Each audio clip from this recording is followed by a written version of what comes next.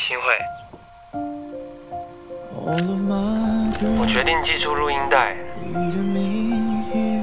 回头想想，如果我们不是距离那么远，该有多好。十点十六，高雄。如果我们没有交往，身边会有别的人出现。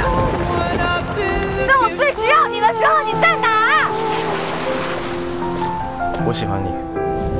如果有一天把我弄丢了怎么办？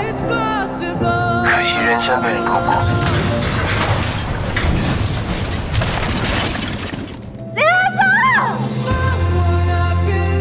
跑不掉了，我们有线连着。我们的故事到底该有一个什么样的结局？再见！我想听你的答案。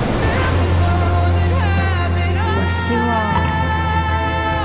有一点点眼泪，一点点笑料，最后以一个浪漫的邂逅作为开始。他刚刚是不是在看我？